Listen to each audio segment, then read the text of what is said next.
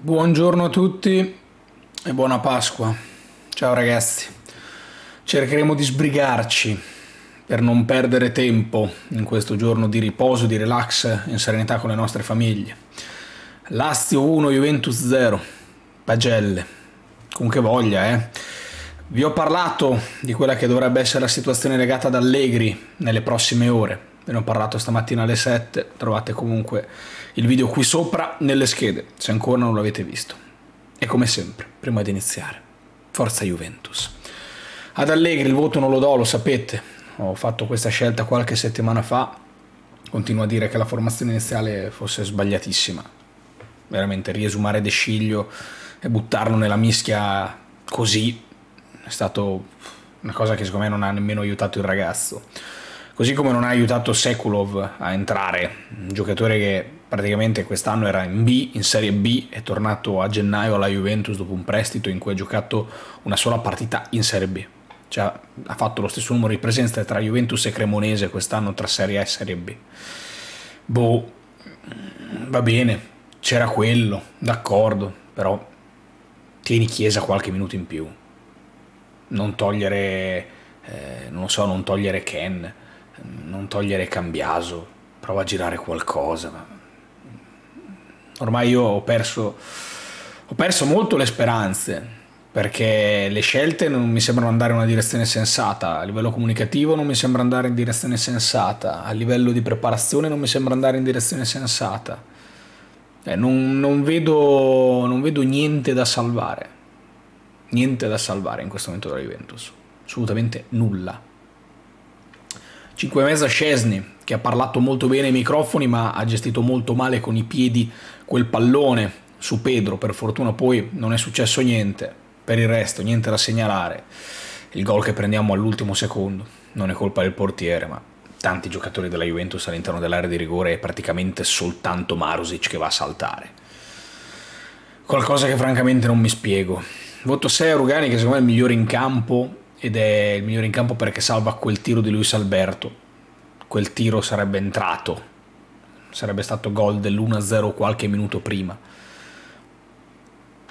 Certo che se ti metti a dire migliore in campo a un difensore centrale che prende 6, capisci quello che è stato il resto della partita.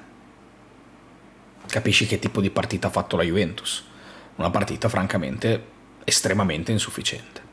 8-6 pure Bremer, che anche lui è a livello di Rugani dal punto di vista della prestazione. Due occasioni sono sue, testa quadrata, diciamo così, forse un pelo più convincente Rugani, forse da 6 più Rugani, ecco, diciamo così. Però bene o male siamo lì, ma sono due difensori centrali migliori della Juve. E questo ci fa capire che tipo di prestazione abbiamo fatto. Danilo 5,5, io non so cosa sia successo al capitano, ha completamente esaurito la benzina, non ne ho idea, non ne ho idea. Però sicuramente non è più il Danilo che, che abbiamo visto in questi anni, o comunque nel recente passato della Juventus. Serve ritrovare anche lui, perché tanti errori da parte sua, da parte di Rabiot, si iniziano a sbagliare anche quei giocatori che, eh, che sono i senatori e che in questo momento dovrebbero cercare di trascinare la squadra, è finita, eh? Finita forse davvero però però questa stagione non è ancora finita e dobbiamo farla finire nel migliore dei modi. 8-5 De Sciglio, boh, secondo me gli fai anche un dispetto buttarlo nella mischia in queste condizioni. Non c'era veramente bisogno, cioè metti Gatti terzino destro se vuoi fare il 4-3-3 e lascia stare De Sciglio, poveraccio. Metti Healing fallo giocare alto nel tridente. Cioè, di opzioni ce n'erano nonostante eh, l'infortunio di Alexandro, l'influenza di Kostic, i muscoli di Milik e la squalifica di Vlaovic. Possibilità ne avevi. Abbiamo voluto fare qualcosa di, di molto strano e poi lo togliamo a fine primo tempo. Ci siamo anche rimangiati tutto, due cambi ce li bruciamo subito. Cioè, è ovvio che poi lui non aveva a disposizione la partita intera. Io veramente certe cose non le capisco e non, non riesco a comprenderle.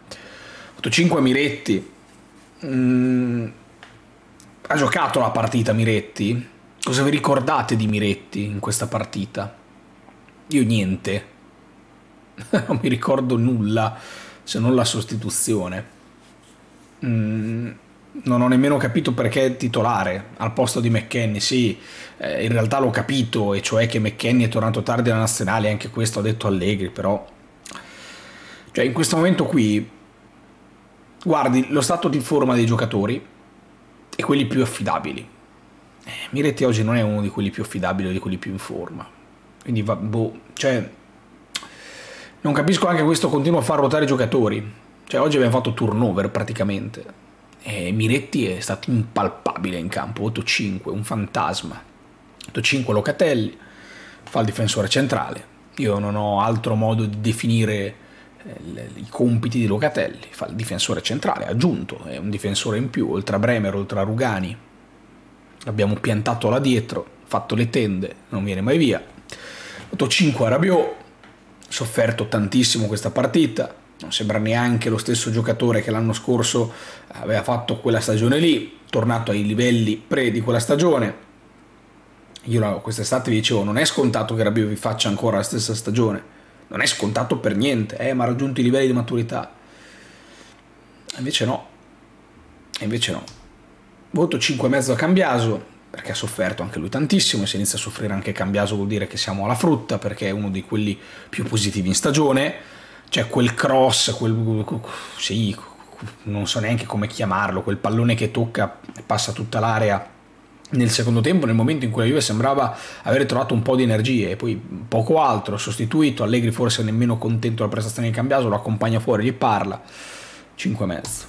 Voto 5,5 pure a Chiesa, è quello che ci prova di più, un paio di occasioni, una un colpo da biliardo, l'altra un po' più forte, tutte e due nel primo tempo, poi sostituito, cioè se non riusciamo nemmeno a metterci in idea che queste partite qua dobbiamo avere il coraggio di vincerle, quindi magari tenere insieme Chiesa, Ildiz e Ken, ragazzi non andiamo da nessuna parte, mi dispiace, cioè non andiamo da nessuna parte, serve per vincere le partite, per eh, arrivare a conquistare dei risultati, banalmente per qualificarsi alla Champions, se non tiri fuori le palle e non hai il coraggio di, di fare anche quel qualcosina in più dal punto di vista offensivo e tenere in campo tre giocatori offensivi piuttosto che fare un tridente con un terzino, non vai da nessuna parte. Ed è giusto che tu non vada in Champions poi a un certo punto se continui così, eh? giusto che tu non vada in Champions, se non hai il coraggio di provare a vincere una partita. Provare a vincerla una partita. 8-5,5 a Ken, che poverino è anche uno dei meno peggio, però quando non ti arriva mai il pallone e eh, devi valutare un attaccante, eh, come fai? Cioè Ken ha anche gestito abbastanza bene la palla, però Ken ha fatto sportellate, ha fatto ad allunghi, non ha fatto l'attaccante del gioco del calcio. Eh. Sembrava uno messo lì, buttato lì, stop. Cioè, dal punto di vista offensivo questa partita in cosa si è preparata? In, in, Ken che gioca per forza di cose perché c'è solo lui, cioè come hai provato a dire ok c'è Ken, sfruttiamolo in questo modo, in quest'altro, qui è forte, qui è debole, in niente, in niente, preparazione zero, 5,5 Ken. Le sostituzioni, entra McKenny, non aggiunge niente, nel caos, nell'anarchia totale della Juventus che torna nel 3-5-2 dopo che l'aveva abbandonato quasi per sbaglio, quasi per finta, perché era comunque un 3-5-2 mascherato, camuffato. McKenny non fa niente di più. Ealing entra, boh, veramente boh, anche lui. Io sono dell'idea che Ealing, se lo facevi giocare titolare nel tridente con Chiesa e Ken, magari qualcosa di più poteva darti perché potevi giocartela con Ealing alto a sinistra e Chiesa alto a destra, oggi che hai deciso di fare il tridente. Invece no, UEA con Cambiaso poteva fare il terzino tra l'altro, non dovevi neanche buttare dentro Resciglio. UEA voto 5, che lui lo metti, non si capisce, cosa fa UEA? Boh, avanti e indietro, le belle statuine, Ildis voto 5, non ha fatto la differenza, non è stato in grado di farla, è entrato, non ha aggiunto niente, perché non ha aggiunto niente oggi Ildiz. E Secolo fu voto 5, perché poi, io ripeto, non so neanche se uno, come con De Sciglio, questi giocatori poi li metti anche un po' in difficoltà. Ehm, forse si poteva anche evitare di fare tutti i 5 cambi, cioè non è obbligatorio fare tutti e 5 cambi, forse puntare un po' di più su quelli che c'erano cercare una soluzione differente, cercare di avere un po' più coraggio, giochi con cambiaso terzino da una parte, Danilo dall'altra, Ildis, Chiesa e Ken e poi se vuoi fare i cambi hai eh, UEA e mm, magari Sekulov da mettere come esterni, ma se tu metti Sekulov nel 5-4-1, 4-5-1, quello che era, gli chiedi di fare l'esterno, uno che ha fatto la panchina in Serie B fino adesso, cioè, ma poi cosa vuoi pretendere? Davvero cosa vuoi pretendere? C'è bisogno di metterlo, non è necessario, mettine un altro, c'hai Nicolussi, c'hai Gatti, eh, c'hai Jalot a questo punto che se eh, magari sta bene anche lui dopo il crociato, non lo so, non ho idea, però eh, metticene un altro, mettici Nicolussi e metti un centrocampista in più, cosa ti devo dire? Eh, mettiamo uno che se non ci ha mai giocato e chiede di fare l'esterno, eh, la diagonale al novantesimo, all'Olimpico, che è un attaccante, tra l'altro un giocatore offensivo, probabilmente non di livello assoluto, perché sennò sarebbe non avrebbe fatto una presenza nella Cremonese, e poi fa la frittata e cosa dice? Colpa sua? Eh, colpa di Sekulov. Allora eh, Juventus è una vittoria nelle ultime nove partite, sette punti nelle, nelle ultime nove partite perché Sekulov non fa la diagonale, perché Nonge fa il rigore, perché Tizio Kai e Sempronio sbagliano quella situazione. Però non è quello.